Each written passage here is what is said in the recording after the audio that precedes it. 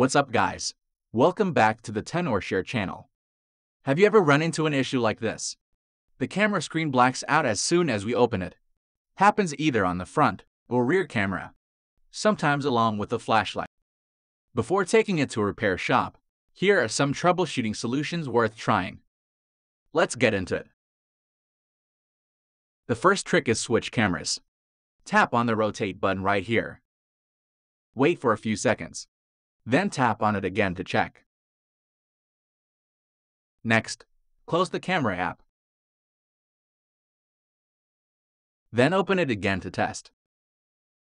Since the issue persists, let's give it a force restart. For iPhone X or later, press and quickly release the volume up and down button successively.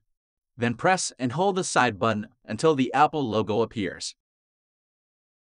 Once it restarts, check if your camera starts working. Moving on, the next one is Reset All Settings. Open the Settings app.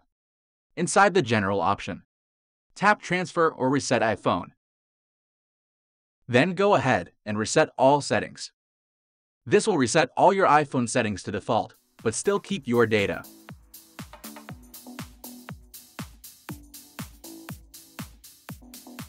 If you still need help, go to General, Software Update, and check if an update is available. If yes, go ahead and install it. If your software version is up to date but still having the problem, ReiBoot will be the fix. It offers a standard repair for you to keep the data. You can download the firmware to anywhere you want, not just the C drive. And after that, you can start repairing. Your iPhone will be updated to the latest iOS in the process.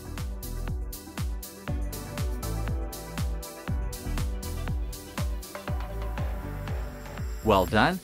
Now you can go ahead and check it out. If your camera is still not working, there might be hardware issues related to it. In that case, it'd be a better idea for you to arrange a repair. That's all for today. Thanks for watching. If you think this video is helpful, don't forget to share it with your friends. See you!